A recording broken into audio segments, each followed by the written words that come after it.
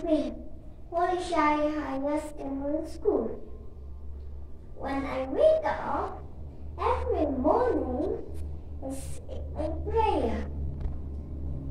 I brush my teeth. Brush, brush, brush.